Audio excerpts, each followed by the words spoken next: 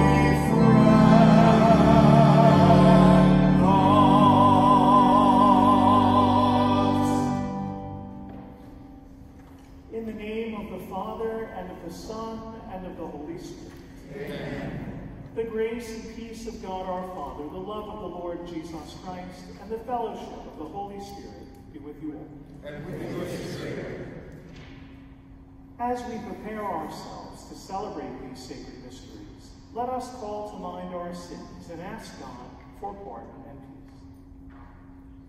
Lord Jesus, you raise the dead to life in the Spirit. Lord, have mercy. Lord, have mercy. Lord Jesus, you free us from the burden of our sins. Christ, have mercy. Christ, Christ have mercy. Lord Jesus, you feed us with your own body and blood.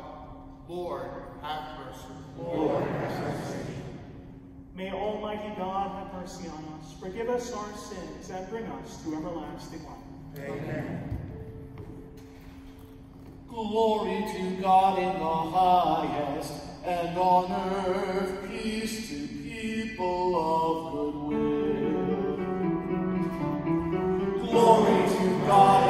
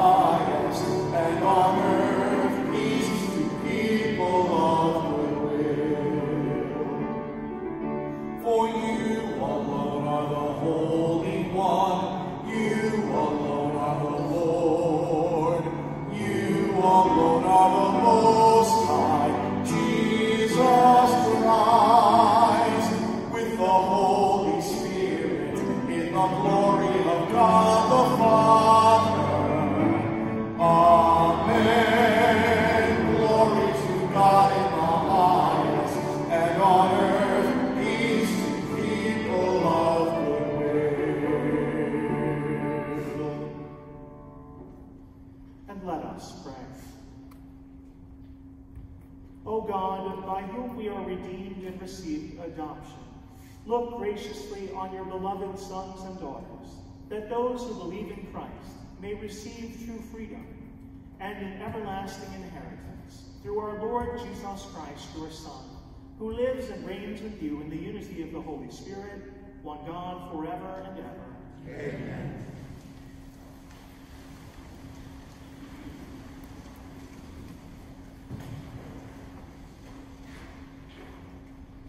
A reading from the book of the prophet Isaiah. Thus says the Lord, Say to those whose hearts are frightened, Be strong, fear not. Here is your God. He comes with vindication, with divine recompense. He comes to save you. Then will the eyes of the blind be opened, the ears of the deaf be cleared. Then will the lame leap like a stag, then the tongue of the mute will sing. Streams will burst forth in the desert, and rivers in the steppe. The burning sands will become pools, and the thirsty grounds, springs of water. The word of the Lord. Thanks be God.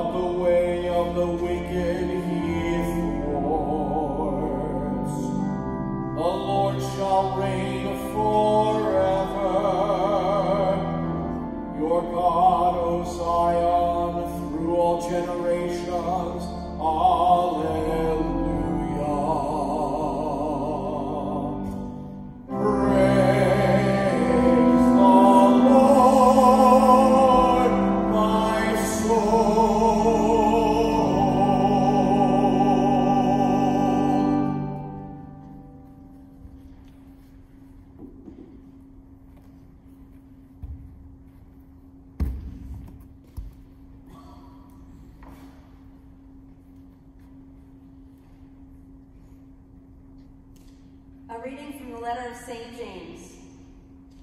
My brothers and sisters, Show no partiality as you adhere to the faith in our glorious Lord Jesus Christ. For if a man with gold rings and fine clothes comes into your assembly, and a poor person in shabby clothes comes also comes in, and you pay attention to the one wearing the fine clothes, and say, Sit here, please, while you say to the poor one, Stand there, sit at my feet, have you not made distinctions amongst yourselves and become judges with evil designs? Listen, my beloved brothers and sisters. Did not God choose those who are poor in the world to be rich in faith and heirs of the kingdom that he promised to those who love him? The word of the Lord. Thanks be to God. Thank you.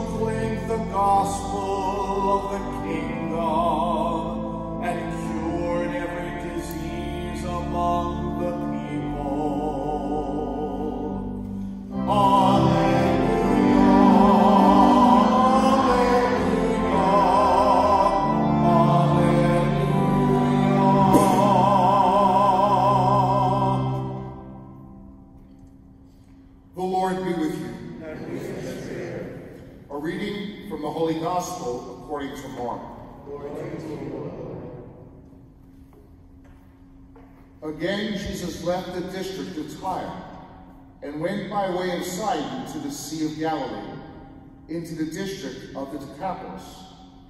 And people brought to him a deaf man who had a speech impediment, and begged him to lay his hand on him. He took him off by himself away from the crowd. He put his finger into the man's ears, and spitting, touched his tongue. Then he looked up to heaven and groaned and said to him, Ephphatha, that is, be open. And immediately the man's ears were opened. His speech impediment was removed, and he spoke plainly. He ordered them not to tell anyone, but the more he ordered them not to, the more they proclaimed it. They were exceedingly astonished, and they said, He has done all things well. He makes the deaf hear and the mute speak. The Gospel of the Lord. Praise you, Jesus Christ.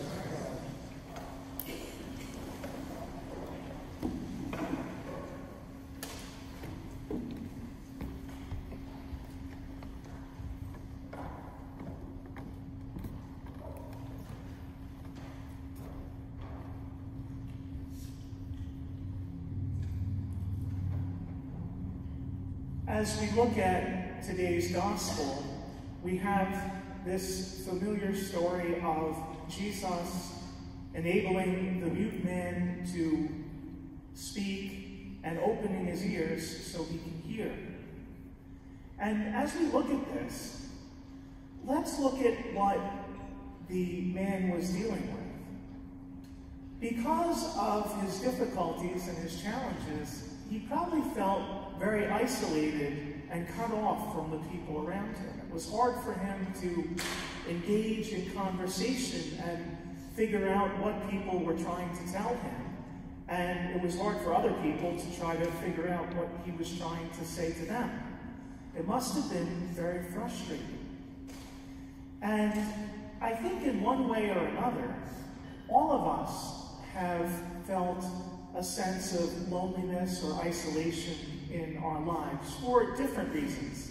Not always for the physical reasons that this man faced, but think about the pandemic when we were all stuck at home. And for those of you that are joining us through cyberspace, you might be stuck at home still for one reason or another. And being at home for a lot of people is a real challenge. Um, when, when I was sick, I was stuck at home for a while, and um, there, there were things that I liked about it. I liked having the time by myself and um, reading and watching TV and praying and uh, having time alone with my father, my brother. But not everyone deals with being at home the same way. Not everyone processes being alone the same way. People need different amounts of alone time. And for some people, being alone in any way is really traumatic for them. And so Jesus was really reaching out and meeting this man's need in a profound way. He saw that this man was cut off from the people around him. And he reached out and touched the man, gave him that human contact that he needed, and opened up the pathway for others to reach him. And Jesus does that so many times in our lives. Yes, sometimes when we're sick and suffering, we, we pray to the Lord, and um, our prayers are definitely heard. They're not always answered in the way that we expect or in the way that we ourselves might want. But Jesus always does unite us with the greater community under God. The greater world, the greater universe, the kingdom of God, however you want to look at it, Jesus always connects us to one another, even when we're stuck at home. If you think about it a moment, you might be home alone, but you're praying, right? And if you're praying, even though you're in your house by yourself, your prayers are united with all the other people in the world.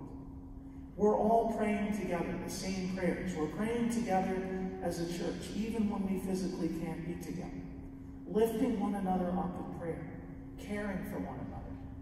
And that love, that care, that grace of God breaks down all of the barriers that keep us from one another.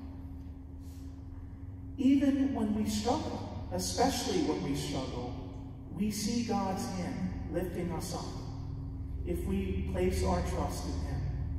And that's what this deaf mute man did. He trusted in the Lord. He came to the Lord and asked for Jesus' help. And Jesus knew what he needed. Jesus knows what we need. Let us turn to him with our burdens. Let us lift up our struggles so that he can unite us so that we won't face things alone. Jesus promised elsewhere in the Gospels that he would share our burdens, that if we shared our burdens with him, our burdens would be light, our yoke would be easy. As we struggle with this pandemic, with all of the challenges that we face in life, let us bring those struggles. Let us bring our grief, our loneliness, our pain, all of those things to the Lord and unite them in prayer with one another so we're not alone. Let Jesus break down that barrier of loneliness.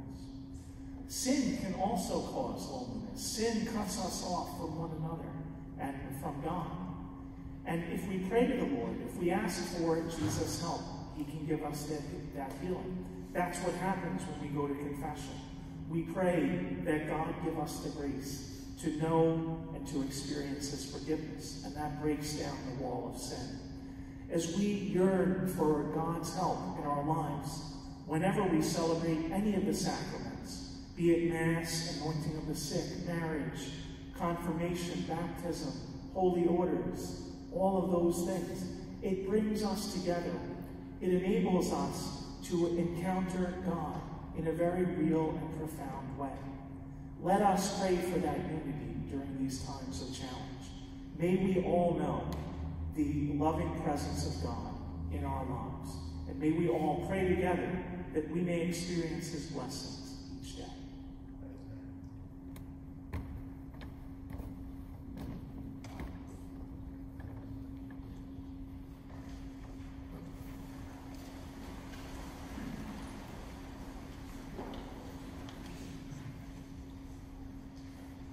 And together we stand and profess our faith. I believe in one God, the Father, the Almighty, maker of heaven and earth, of all things visible and invisible. I believe in one Lord Jesus Christ, the only begotten Son of God, born of the Father before all ages, God from God, light from light, true God of true God, begotten, not made, consubstantial with the Father. Through him all things were made. For us and for our salvation, And by the Holy Spirit was incarnate of the Virgin Mary and became man. For our sake he was crucified under Pontius Pilate. He suffered death and was buried, and rose again on the third day in accordance with the Scriptures. He ascended into heaven and is seated at the right hand of the Father. He will come again in glory to judge the living and the dead, and his kingdom will have no end. I believe in the Holy Spirit, the Lord, the giver of life, who the Father and the Son, who with the Father and the Son is adored and glorified, who has spoken to the prophets. I believe in one holy Catholic apostolic church. I confess one baptism for the forgiveness of sins. I look forward to the resurrection of the dead and life in the world to come. Amen. And together we bring our prayers before the Lord. Our response will be, Lord, hear us. For the church throughout the world, may all who have been baptized into the death and resurrection of Christ be strengthened in their Christian vocation. We pray to the Lord. Lord, hear us. For the tens of thousands whose lives have been devastated by Hurricane Ida, and especially for those who lost their lives, whether in Louisiana or here in the Northeast, May the Lord give his children strength to recover from so great a loss. We pray to the Lord. Lord. We pray for the Afghan people and the catastrophic situation that continues in that war-torn nation. For our military personnel who have safely returned home and the unknown number of Americans and allies who remain trapped there. And for the future of the nation that has known so much pain, violence, and grief we pray to the Lord. Lord. On this Labor Day weekend, we pray that God will bless our work, whatever shape it may take. And for all who seek meaningful employment, we pray to the Lord. Lord, hear us. For continuing progress in the struggle against the COVID-19 pandemic, particularly as our children head back to school, and for all who are sick in body, mind, or spirit, we pray to the Lord. Lord, hear us. For those who have died, may the Lord enfold them with light and peace. We pray to the Lord. Lord, hear us.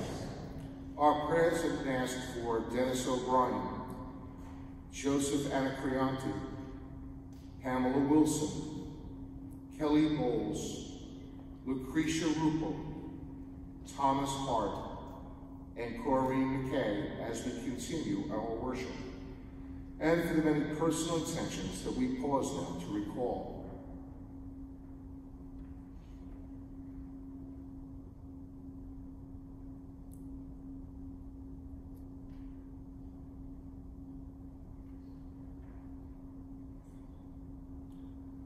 We pray to the Lord. Lord, hear us.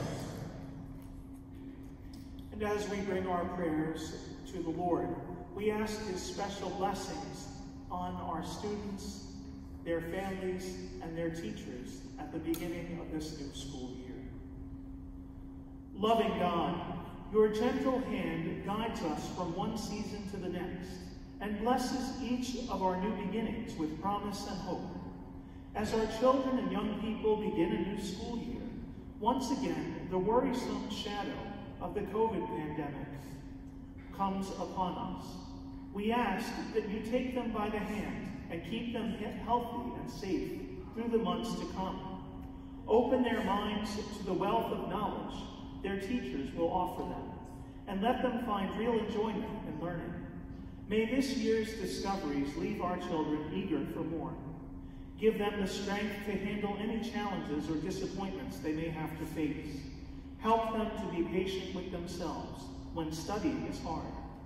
And at year's end, let them look back with a sense of pride and a real sense of their own special gifts. Bless, too, our parents and families, teachers, principals, and all who will shape the minds and hearts of our young people. May their patience, dedication, and love be the keys that unlock the door to our children's future. We ask all of these things in the name of our brother and master teacher, Jesus Christ, our Lord. Amen. Please be seated.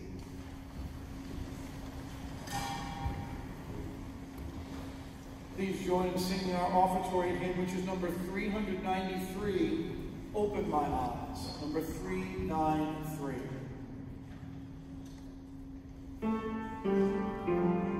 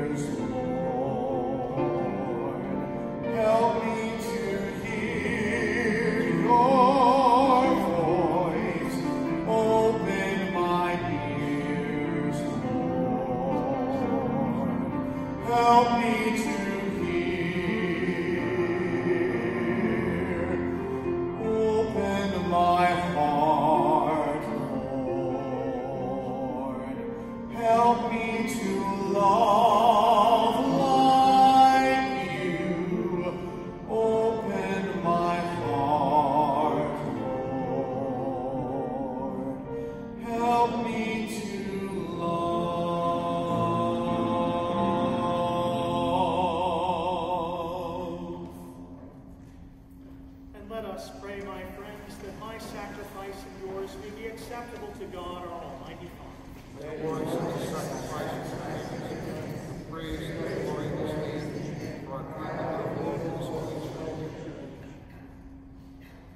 O God, who give us the gift of true prayer and of peace, graciously grant that through this offering we may do fitting homage to your divine majesty, and by partaking of the sacred mystery, that we may be faithful, faithfully united in mind and heart through Christ our Lord. Amen.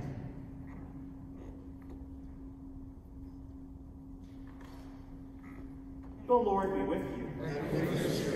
Lift up your heart. Let us give thanks to the Lord our God. It is right and just. It is truly right and just, our duty and our salvation, always and everywhere to give you thanks. Lord, Holy Father, Almighty and eternal God, for you so loved the world that in your mercy you sent us the Redeemer to live like us in all things but sin, so that you might love in us what you loved in your Son, by whose obedience we have been restored to those gifts of yours that by sinning we had lost in disobedience. And so, Lord, with all the angels and saints, we too give you thanks as an exaltation we acclaim.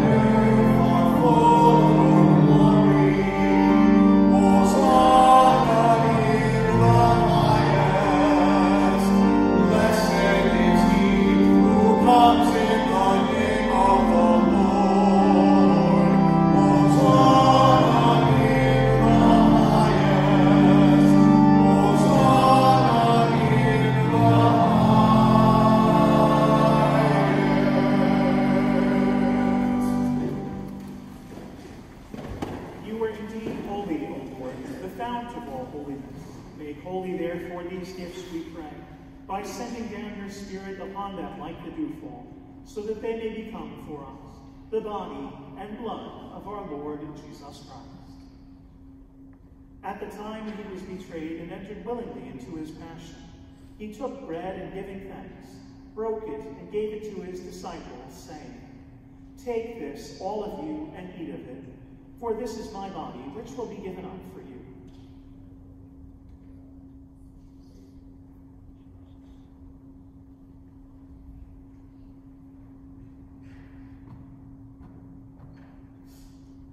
In a similar way, when supper was ended, he took the chalice, and once more giving thanks, he gave it to his disciples, saying, Take this, all of you, and drink from it. For this is the chalice of my blood, the blood of the new and eternal covenant, which will be poured out for you and for many for the forgiveness of sins. Do this in memory of me.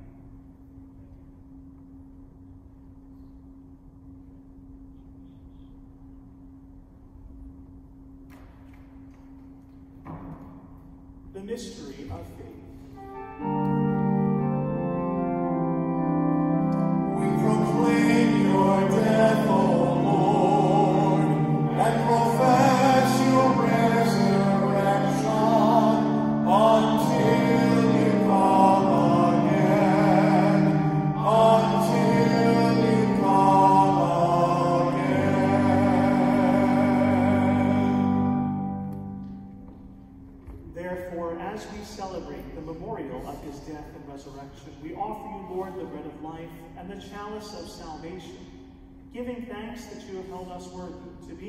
Presence and minister to you.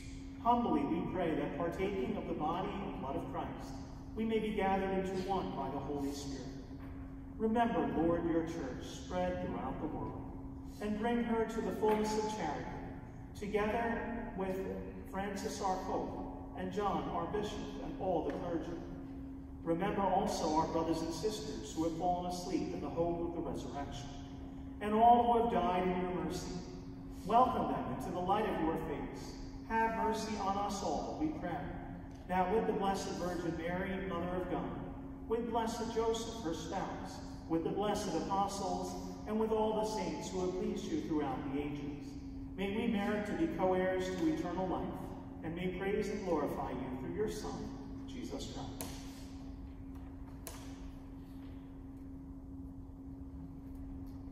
Through him and with him and in him, O God, Almighty Father, in the unity of the Holy Spirit, all glory and honor is yours forever and ever.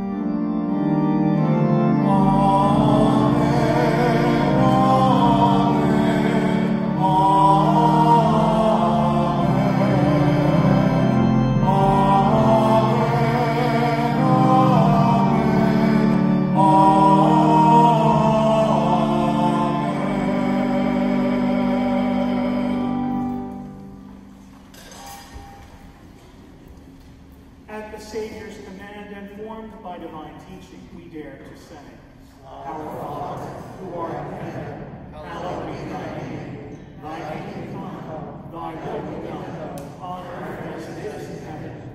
Give us this day our daily bread, and forgive us our trespasses, as we forgive those who trespass against us. And lead us not into temptation, but deliver us from evil. Deliver us, Lord, we pray, from every evil, and graciously grant peace in our days, that by the help of your mercy we may always be free from sin and safe from all distress, as we await the blessed hope and the coming of our Savior, Jesus Christ. For the kingdom power and glory are yours now and forever. Lord Jesus Christ, who said to your apostles, Peace I leave you, my peace I give you. Look not on our sins, but on the faith of your church, and graciously grant her peace and unity in accordance with your will, who live and reign forever and ever. Amen. The peace of the Lord be with you all. And with your spirit.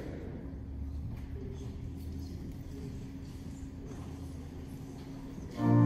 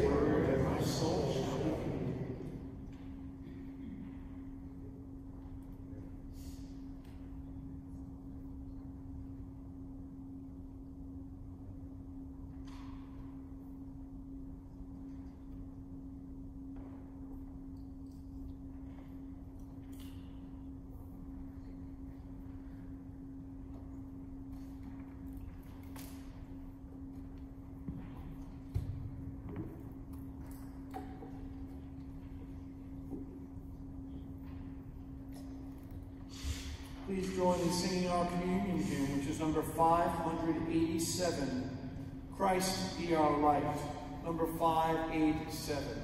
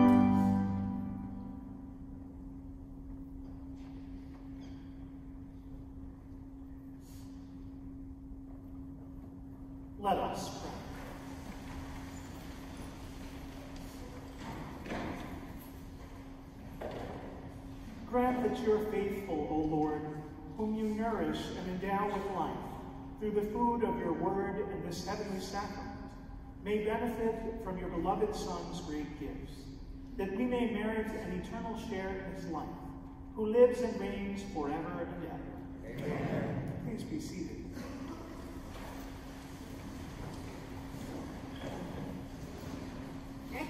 Next Saturday, September 11th, marks the 20th anniversary of the terrorist attacks of 9-11-2001.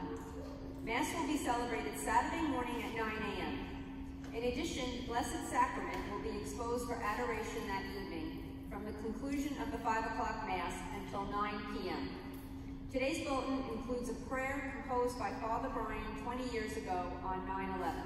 Many of its sentiments are still very apropos today.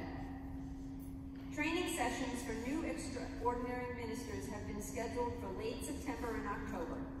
If you've been considering becoming a minister of Holy Communion here at St. Lawrence, or would just like to hear more about this beautiful role, please see the bulletin or contact the rector.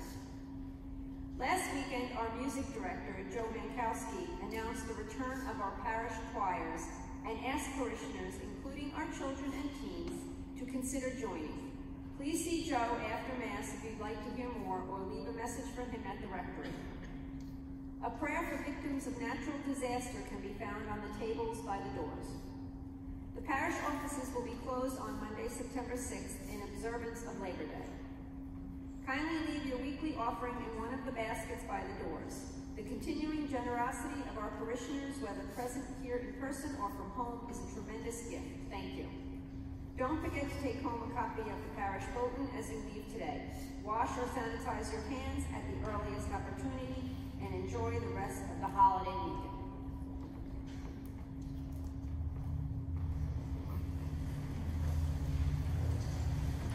The Lord be with you. And with your spirit. And may Almighty God bless you, the Father, the Son, and the Holy Spirit. Amen. The Mass is ended. Go in peace. Thanks be to God. Have a great weekend. Thank you, Father. Our closing hymn is number 385, City of God, number 385.